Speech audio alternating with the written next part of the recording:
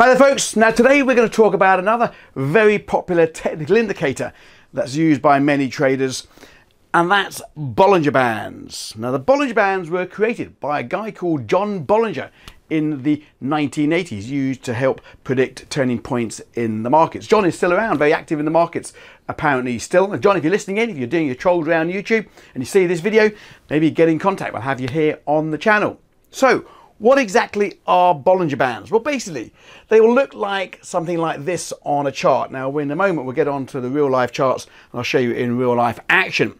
But they basically look like this. And it, it is comprised of three main lines. First of all, you've got the middle band. Now, the middle band is basically a simple moving average. The default, I think, that most use these days is a 20 SMA, so it's a 20 period uh, simple moving average there on the orange line going through the middle.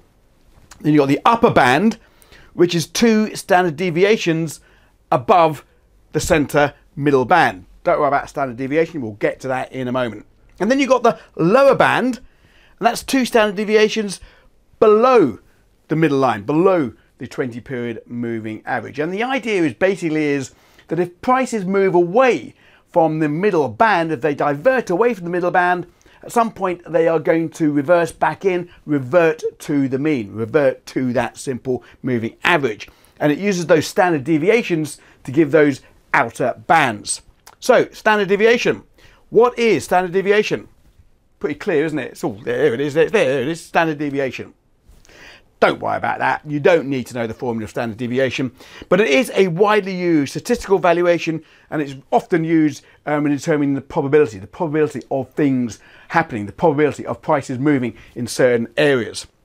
It's a measure of dispersion from the mean. It basically does exactly that. It measures how far away prices can move from the average. And this is what it looks like on one of those histogram charts that I'm sure you've seen in the past. So this center line down the middle, that is our mean, that is our average. That, in our case, is our 20 period simple moving average. The bottom here, you can see the different standard deviations. This is the, the symbol for standard deviation. So one standard deviation will see 34.1% basically times two in either direction. So that would be about 68% of price should be contained at one standard deviation. But what the Bollinger Band does, it looks at two standard deviations typically. Two standard deviations will basically look at a 95.4% um, that prices will contain be contained within that band. So that's basically 40, uh, almost 48% either side. If the market moves away from that, it should revert back to the mean. That's basically what the standard deviation means. It looks back, it sees where price has been contained in the past and helps us look at where prices may be contained in the future. Now, when you look at this on a chart, it can look really, really powerful. Okay, so what I've done here, I've basically picked a currency pair, British pound against the US dollar. It's a one hour chart. I've loaded in the Bollinger Bands from the default settings here uh, on TradingView. So we've got the 20 period moving average and we've got two standard deviations giving the upper band and the lower band um, of the channel. And if you look at the chart, you actually think, hang on, this is the holy grail. This is everything I have been looking for. Every time that prices go to the outers of the channel, it moves back into the mean. And indeed, it does appear that way. But this is the problem that I think uh, looking back at these on a chart creates. It gives you like almost a false uh, sense of security. Many rookie traders will be there buying at the bottom and selling at the top just because we're on the top of a Bollinger Band. And I think personally that most rookie traders, most people that are using Bollinger Bands are using them in the wrong way. I'm going to show you in a moment exactly how the rookie trader is using Bollinger Bands. But more importantly, I'm going to show you the correct way that I think you should use Bollinger Bands if indeed you're looking to use indicators in your trading. Come on, let's go. Okay, so here we are on the pound against the US dollar again. This is the daily chart, and indeed, again, it looks fantastic. Now, I think the way that most are using the Bollinger Bands incorrectly is that they're literally trying to pick tops and bottoms every time price hits the upper or the lower band of the Bollinger Band. So, for example, uh, they would be uh, buying down here as price goes below the lower band. They'll be selling up here. They'll be buying up here. They'll be selling up here, and they'll be buying up here and selling up here. Yeah, it looks fantastic, doesn't it? But let's play that now in real time. I'm going to scroll back and look at unseen data and just scroll through a candle at a time and seeing if that strategy works in real life. It looks fantastic in hindsight, but what's it like in real time? Okay, in order to scroll back in time on the trading platform, uh, just scroll back using your mouse as far as you want to go. I'm not going to uh, cherry pick this, just go anywhere you like. Okay, um, make that a bit smaller. Um, and then you use this uh, replay button at the top here. Uh, literally click on there and it will basically take uh, the far right of the chart to where you've clicked that vertical line. And you can advance one candle at a time by hitting this uh, little arrow key with a line at the top here. We're currently at the mean, just advancing one candle at a time. Okay, so we're now going through the lower band. Um, this would have been a buy signal there, uh, but we've traded on through. Uh, so we're just going to carry on through there and again through again. So we're going through, we're going through. Um, still, we're going through lower and lower as we go. So all these are giving you buy signals as we breach through, uh, causing uh, multiple, multiple losses until at some point it does turn and it moves back up, um, which is not there, but it does at some point, I'm sure. Um, okay, um, and there we go. That's a perfect bottom. Looking back, it looks great, doesn't it? looks great that you'd have had uh, this little turning point um, in hindsight. Um, and then, of course, we move up to the top band. and that's a sell. Okay, and that indeed would have moved back to the uh, to the mean and back then down towards the lower band where that becomes a buy. Okay, and off we go again, back to the top. I didn't quite work. We came through again, hits the lower part of the band. That's another losing trade there.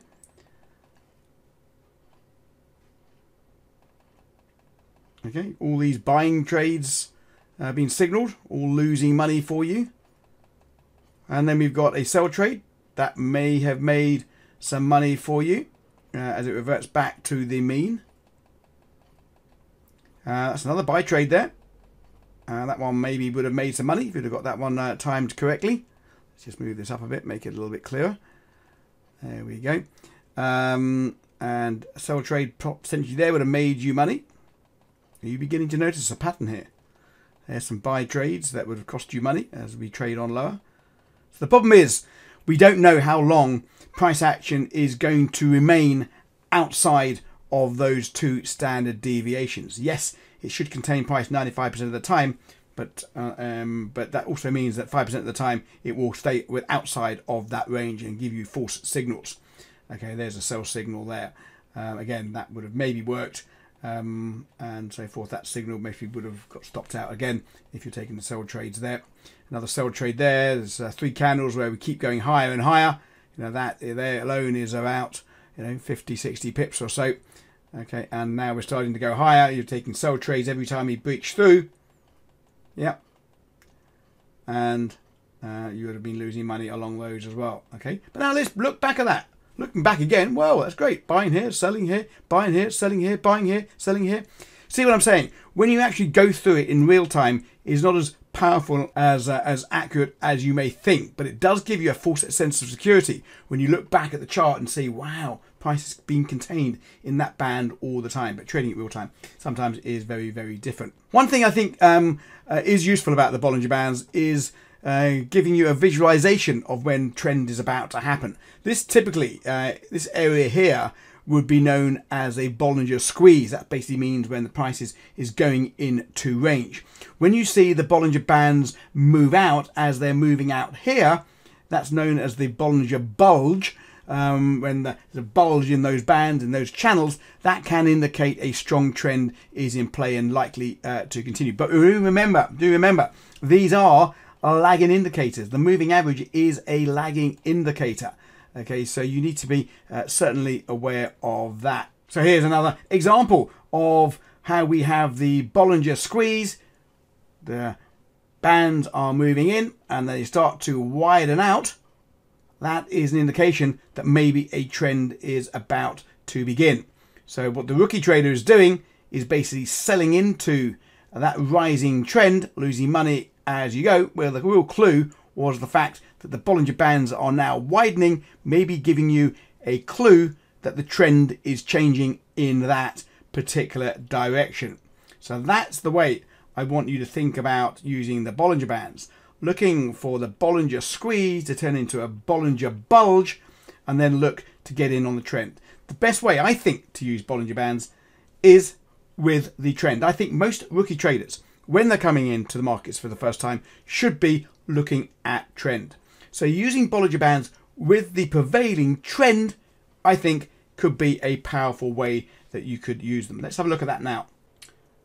Okay, so sticking with the pound against the US dollar, this is now the four hour chart. So this is our Bollinger Squeeze. This is when the, the bands are narrowing in on themselves, indicating a ranging market. Waiting for that bulge to happen. Now we are in this bulge. I'm not trading this move to the upside when I see this bulge happening below the SMA. I'm not going to be taking any of these buy trades as we hit uh, the lower band. As we bounce back up through and we hit the upper band, yep, I'm going to be taking the sell trades there. I'm going to be taking sell trades there, waiting for the trend continuation to the downside. I'm going to ignore all these buys in here, all these false signals to tell you to buy. I'm going to be avoiding those. But back up to the top band again. I'm going to sell there as well for trend continuation. That one will move right back down to the lower band again. And back up again. I'm going to be taking those sell trades again. And it's moving back to the mean again. And back up to the top band. I'm going to be taking my sell trades there. I'm going to avoid all these long trades here. All these false trades. That's going to cost you money. It's going to bleed money out of the account. So basically I'll be avoiding those. Okay, so that was historical data. I've now just zoomed all the way forward to real time. So this is now uh, recording um, on the 18th of November. You see here at the moment, I'm not going to be buying any of these up moves. I'm going to be waiting for the uh, squeeze to turn into a bulge. And here we have the squeeze turning into a bulge. Prices below. I'm going to be looking for sell trades. Obviously, high time frame analysis will also tell you uh, that this currency pair uh, is in a downtrend at the moment. I'm not going to be buying here. I'm not going to be buying here, waiting for the reversal as it keeps touching the lower band. I'll be waiting to touch the upper band for a potential sell if I was trading Bollinger Band for entries with price action maybe as well. You'd be selling there, enjoying that move to the downside. I'm not going to be buying here. Not going to be buying here. Some will work, I'm sure. I'm going to be waiting to sell. I'm still only selling. The trend is down. I'm trading the Bollinger Band entries with trend. And that is the way I think people should be using the Bollinger Bands. Again, pulling up to the top of part of the band and we hit the top band, uh, giving you potential for all this move, ignoring all these false buys down in here. At the time of writing, uh, recording, I should say, we are just hitting the top band. I don't know what's going to happen in the next few hours or so, but that's only selling for me. I won't be buying this currency pair at the moment if I was trading the Bollinger Band strategy entry. Okay, hope you enjoyed that. Hopefully you learned a bit. At least now you know what Bollinger Bands are, whether you decide to use them or not. At least now you know exactly how to use them, as far as I'm concerned, at least. Now I'm, for one, not a big fan of too many technical indicators. I like to look at pure price action in conjunction with maybe support and resistance and so forth, maybe a couple of moving averages. But technical indicators, they do play a part for many, many successful traders. I will say this, however, whatever technical indicator you're using, Bollinger Bands, MACD, stochastics, RSIs, what have you, using in conjunction with price action maybe is the better way to go. Now, if you like the video, give me a thumbs up. If you didn't, give me a thumbs down. Don't forget to leave a comment. As always, I get back to them in due course. Don't forget to subscribe to the channel if you don't already do so. And if you hit that bell notification, well, you know what that does by now, I am sure. Now, we are streaming live around the clock, up to eight times a day. If you want to take part in that, you can do so. Take out a seven day free trial. Just head over to forexsignals.com, go through the registration. It doesn't cost you a dime. You can see what we're all about. Join us in our streams and interact with us as well in real time. If that is not your thing, that is not a problem. I'll see you next week. Have a good week. Now, if you like the video, give me a thumbs up. If you don't, give me a thumbs down. Don't forget to leave a comment as well. I do read them all in due course. Don't forget to subscribe to the channel if you don't already do so. And that bell notification, well, you know what that does.